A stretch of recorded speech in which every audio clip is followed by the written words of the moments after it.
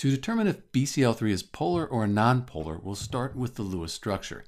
This describes the distribution of valence electrons around the molecule, and it can help us determine polarity. So here's the Lewis structure for BCl3. And now we need to visualize this in three dimensions. We need to know how those chlorine atoms are going to spread out around that central boron atom. For that, we'll use VSEPR, valence shell electron pair repulsion theory. So from our Lewis structure, we can see that that boron has three of the chlorine atoms around it and no lone pair electrons. So here we have this purple atom, that's our boron, and we're going to add our chlorine atoms around it. So we add one, and now watch what happens when we add the other. They spread out, they repel to be as far away from each other as possible, and then let's add our third chlorine atom, and we end up with a shape like this, a trigonal planar molecular geometry.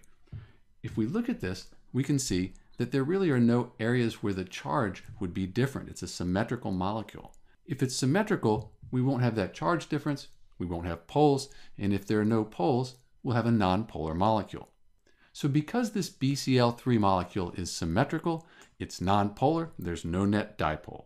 This is Dr. B with the nonpolar molecule BCl3, and thanks for watching.